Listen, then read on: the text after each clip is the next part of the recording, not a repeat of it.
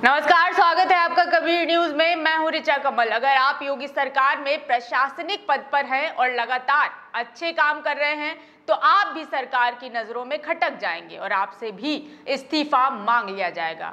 आपको जबरन छुट्टी पर भेज दिया जाएगा या फिर जबरन रिटायर कर दिया जाएगा।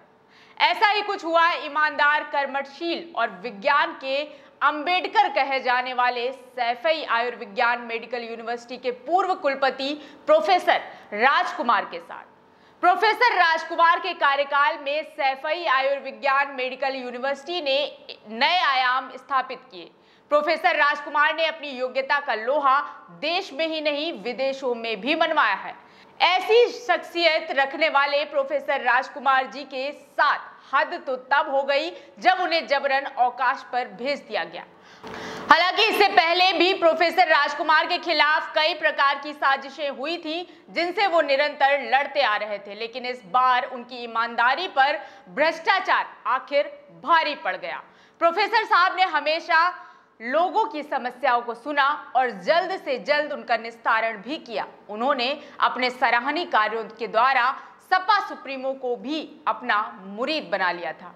प्रोफेसर साहब ने काम ही कुछ ऐसे किए थे जिससे उनका डंका हर जगह बज रहा था, लेकिन कुछ मनमाने लोगों को उनके काम रास नहीं आए और उनके खिलाफ षड्यंत्र रच डाला गया और उनसे जबरन पद से निष्कासित कर दिया गया। आपको बता दें, चिकित्सा जगत में मील का पत्थर साबित हो रहे प्रोफेसर राजकुमार का। सैफई यूनिवर्सिटी में 31 मई को कार्यकाल पूरा हो रहा था, लेकिन बिना किसी पूर्व सूचना के 9 मई को उन्हें जबरन रिटायर कर दिया जाता है। मामला जब तूल पकड़ रहा है, तब कोविड लीव का बहाना बनाकर सरकार अपने फैसले को सही ठहराने की जबरन कोशिश कर रही है। इसके साथ ही इस तरह के व्यवहार से आम जनमानस में आक्रोश है।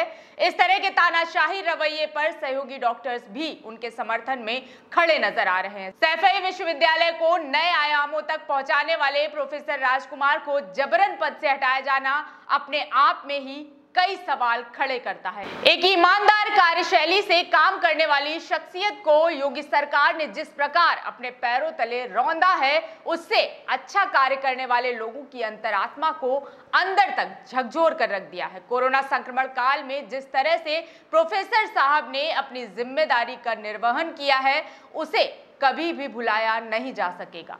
उत्तर प्रदेश आयुर्विज्ञान और देश के जाने माने प्रख्यात न्यूरो सर्जन प्रोफेसर राजकुमार ने अपने बलबूते, कड़ी मेहनत और सख्त कार्य प्रणाली व अपने शोधों से अति पिछड़ी हुई सैफई यूनिवर्सिटी में चार चाँद लगाते हुए उसे अपने पैरों पर खड़ा कर दिया था और उसे उत्तर प्रदेश सरकार ने प्रोफेसर राजकुमार, जिनके नाम 500 से अधिक शोध पत्र हैं, जिसमें चौतीस विशेषतया कोविड पर प्रकाशित उनके मेडिकल साइंस में अभूतपूर्व योगदान के लिए यूपी रत्न से सम्मानित किया है। पूरे कोविड 19 महामारी के दौर में कोरोना की पहली कामयाब पुस्तक, कोविडोलॉजी व कोविड निवारक दवा आरएनबी देकर प्रोफेसर राजकुमार ने पूरे विश्व में भारत का नाम रोशन किया।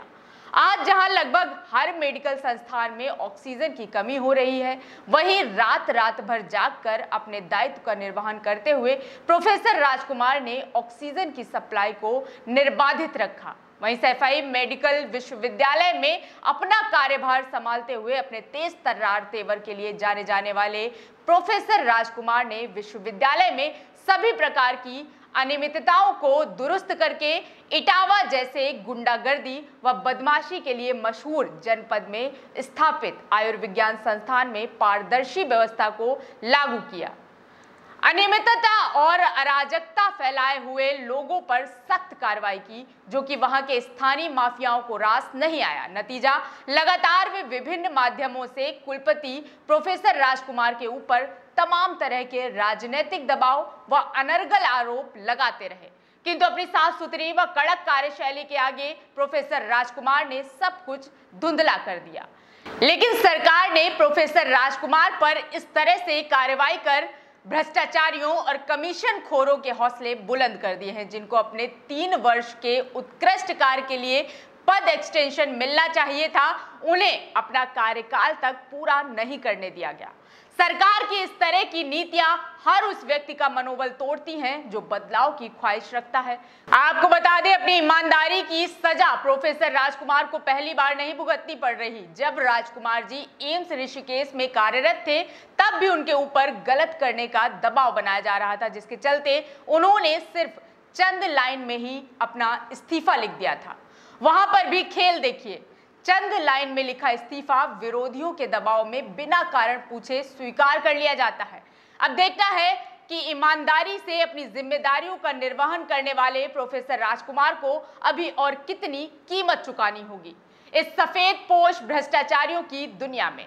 अब हमें YouTube पर देख रहे हैं तो सब्सक्राइब करें हमारा चैनल कबीर न्यूज़ और बेल आइकन टैप करें ताकि आपको नोटिफिकेशन मिलता रहे हमारे हर वीडियो के अपडेट का।